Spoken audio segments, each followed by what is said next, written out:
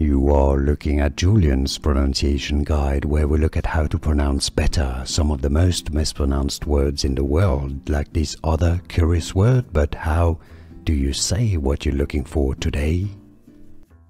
How do you pronounce this word from Spanish, meaning a bird in Spanish? Alright, so in Spanish you would have an accent on the first A indicating that the stress is on that first syllable. Let's hear it in Spanish.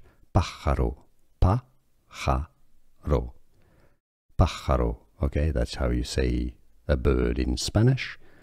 Now, if you cannot pronounce the h sound from Spanish, replace it with an H and say pájaro. Pájaro. Pájaro. You could say pájaro or pájaro. Here are more videos on how to pronounce more confusing words and names too many mispronounced. Like this video if you found it useful, I appreciate your support. I'll see you soon and thanks for watching.